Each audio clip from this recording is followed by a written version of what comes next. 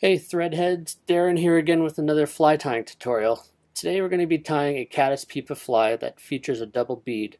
This one's called the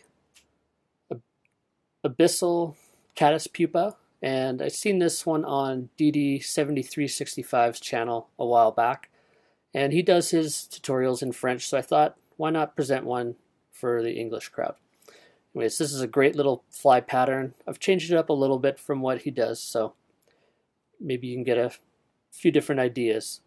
This one I'm tying in a chartreuse in black, but I also do it in a peacock and orange version, and as well as a pale yellow body with a darker thorax.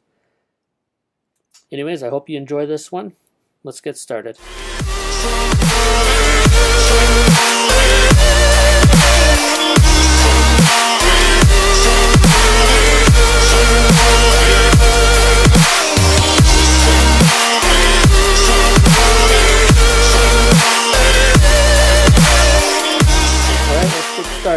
Start off with a Mustad C49S hook. And I've put a couple beads on here. This is a 332nd black bead followed by a 532nd gold bead. You can see the nice size difference. And I just love the way that this makes it look like this fly has a tiny little caddis head already. I'm going to use a 6-aught uni thread on this one in chartreuse. And I'll just start the fly right behind the bead. Just going to establish the thread, trim it out. And then the next material I'm going to use is a vinyl rib, and I'm using a clear medium vinyl rib here. So we're going to make sure that we tie this down with the flat side along the hook shank. You can give a little bit of space in behind the eye or in behind the hook in the, the bead. And then we're just going to run this down almost to the bend of the hook and we'll run it back up. We're going to place the vinyl rib on the far side of the hook.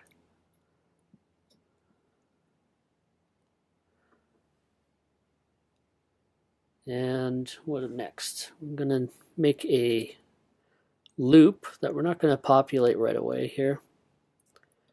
So I've got my dubbing loop, my dubbing spinner tool here. Just going to make a small loop and I'm going to hang it off the back of the fly. Don't need a ton, probably two inches is enough. So I'm not going to fill this up yet. I've got a little bit more to do first. Next, I'm going to take a couple pieces of pearl flashabou just to tie in a little bit of flash on the underbody of this fly. I got about three strands here. So I'm going to tie that in at the eye.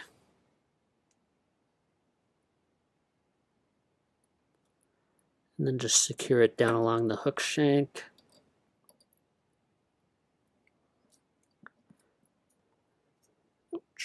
Got hot lights here, trying not to touch it with my arms. Alright. This is a little tricky with hot lights and a camera, but without the camera, this is actually a really fast fly to tie.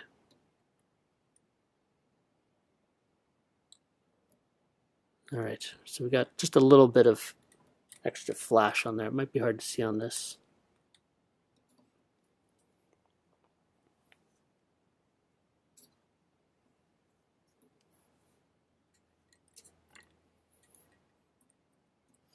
Trim that off.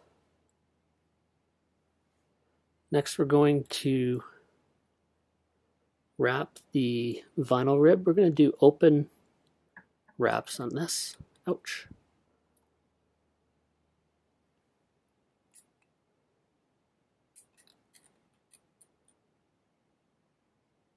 I'm going to take that, I'm just going to put the thread in a bobbin holder here for a second.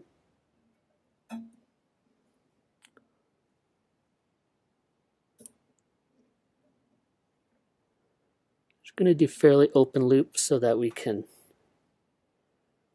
seat our dubbing loop in between the vinyl rib when we wrap it up. I'm going to tie that off just behind the bead here, as close to the bead as you can. I like to tie it off on the underside. Make sure you get both sides so that it gets locked in. All right. Now I'm going to take a little bit of caddis green or insect green, diamond dubbing or chartreuse or ice dub, whatever you've got. Ice dub, diamond dub, almost identical products. You don't need a lot. What I'm going to do is I'm just going to turn this on the side and I'm going to spin that just to tighten the loop. And then we'll wrap that up. Up the hook shank. You want to just make sure that you seating that loop in between the wraps of the vinyl rib.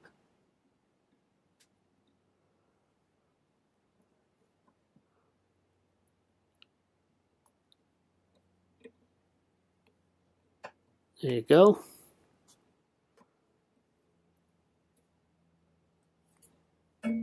Trim off the excess. Now you can leave the fly like that, or you can add just a little bit of a darker color. I've got like a black peacock diamond dub. Just gonna add a little, few little strands there. Just in behind the bead. I'm gonna use a couple half hitches to finish this fly off. It just helps hide the thread in the bead without putting a big half hitch. There you go.